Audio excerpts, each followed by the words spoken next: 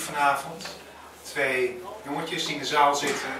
En ehm, ik zou iets willen brengen wat eh, voor iedereen leuk is, maar eh, de meeste mensen voor is poëzie al verpest, maar deze hebben nog een kans. Een verhaal over een jongetje. We zullen dit niet binnen de vijf minuten redden, maar hak me af straks. Een jongetje die eh, een bijzonder avontuur beleeft. Wat heeft die grote scout een lol met zijn gevonden hondentrol? Die lag opeens op het balkon wat bruin te bakken in de zon. Hij was er misschien opgegooid door buren van een laag allooi, maar nee. Want als zoiets gebeurt, wordt buurmans hand vies bruin gekleurd. En het lijkt best een nette man, dus ik denk niet dat zoiets kan. Is dan die stront soms van een meeuw? Die hoor je soms met hun geschreeuw, maar nee, die trol was veel te groot. Zo'n persproduct maakt vogels dood, want als een meeuw zo'n bolus poept, is heel de meeuw eruit gevloept. Geen vogelcactus, maar misschien was in de buurt een hond te zien. Die liepen niet zo heel vaak rond, want papa wilde echt geen hond, omdat zo'n beest zoveel verhaard en korsten heeft onder zijn staart die hij aan de gordijnen smeert. Dat had Scouts papa hem geleerd.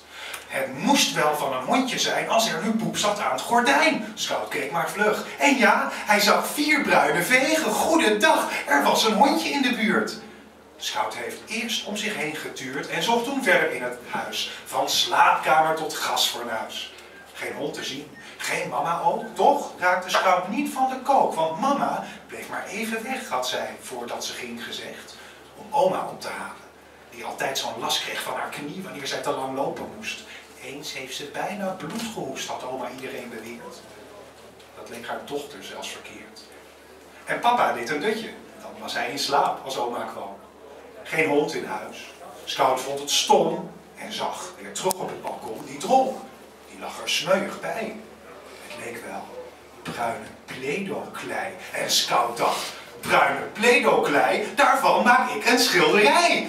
Ja, Schoutje wist heel wat van kunst. Het stond bij oma in de gunst en daarom gaf ze hem ook les. Want oma was kunstenares. Haar naam was Rie en zij was een zeer charismatisch fenomeen. Goed, Scout begon, conform de les, zijn artistieke groeiproces. Ja, Scoutje nam twee handen vol van die enorme hondentrol als basiskleur naar binnen toe. Waar moest hij nu beginnen? Poeh, hij keek eens goed en zag alvast gebreken in het kleurcontrast dat tussen bank en boekenkast en mama's etagère bestond. Dus met de allereerste klont creëerde Scout in sepia een co-profiel Guernica mama's maagdelijke muur. En dat behang vond zij zo duur. Daarna bracht hij accenten aan, wat verder bij de muur vandaan. Hij smeerde met trefzeker air obstructivistisch meubilair, vol met bruin, geometrisch vlak. Versierde ook de plantenbak, voorts die trouwfoto te klef, arceerde daarop een relief en smeerde, en was niets te dol, ook maar meteen de keuken vol. Zo'n tien minuten later was hij klaar, de kleine wilde bras. Hij vond dit het bekijken waard. Toen, plotseling, klonk daar de baar door mama's sleutel in het slot. Zo, scoutje, heb je geraffeld?